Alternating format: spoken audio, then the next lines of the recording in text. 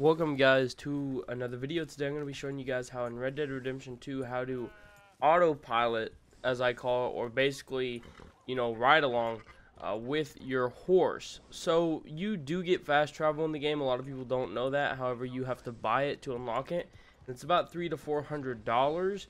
So you know, people don't generally have that at the very beginning of the game, and they want to be able to get from section A to B, but kind of fast travel. Well, this is an easy fix kinda for that.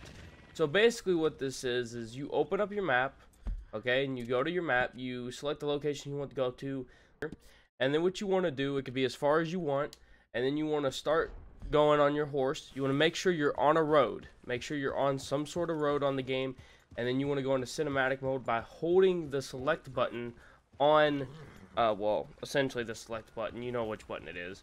This is it's the select button or the whatever the hell the button's called on Xbox again, I can't remember, which will put you in a cinematic mode. And then all you want to do is you just want to keep pressing A, tap it, tap it, tap it, tap it, and then tap in rhythm, and then you can let go of your left thumbstick. You don't need to do anything. You still need to be here to tap or hold A, essentially, but it's a lot less annoying. And then, of course, when there's an encounter, all you got to do is you got to hit the select button again to change your view to get out of it. So it's a really, really easy method. You just simply start moving and then you just go on cinematic mode and it'll correct to the road. You don't need to do anything.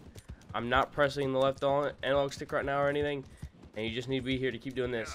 Uh, a lot of people have found this and then they like leave something on their controller to press and hold A. I would not recommend doing this as you'll have a lot of people encounter you and in doing that they could kill you while you're gone. So that's it. I hope you guys enjoyed the video. This is just a little thing to do until you actually get fast travel in the game, until you unlock that. I hope you guys enjoyed the video and I'll see you guys next time.